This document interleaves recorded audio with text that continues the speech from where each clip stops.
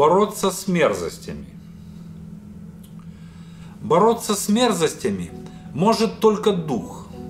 Как его сделать крепче, вот задача. Быть может, укреплять нам зрение и слух, чтобы видеть, да и слышать то, что надо. Вот только как определить, куда смотреть, и как понять точнее, что надо слушать. Ведь если нам на совесть наступил медведь, то плохо видно, да и слышно нашим душам. Блок как-то говорил, что музыка есть дух. И это очевидно, не поспоришь.